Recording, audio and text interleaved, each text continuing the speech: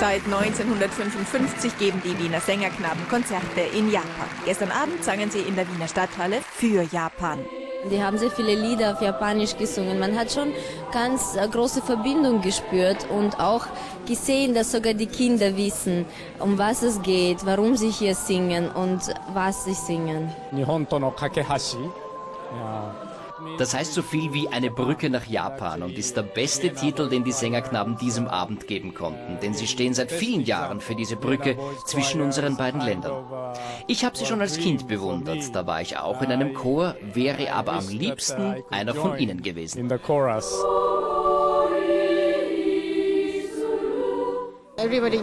Die Sängerknaben sind in Japan extrem beliebt und ich habe heute gehört, dass bei uns auch immer die meisten Karten verkauft werden.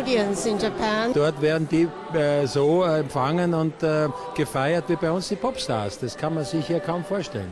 Warst du selber schon in Japan? Ja, ich war schon in Japan. Alles war eigentlich meine beste Tournee in Japan. Und das sind auch die meisten Fans der Sängerknaben. Und deswegen werden sie auch vom Kaiser empfangen. Wie geht's den Eltern, wenn das Kind drei Monate weg ist? Ja, Gott sei Dank gibt es Skype. Ja.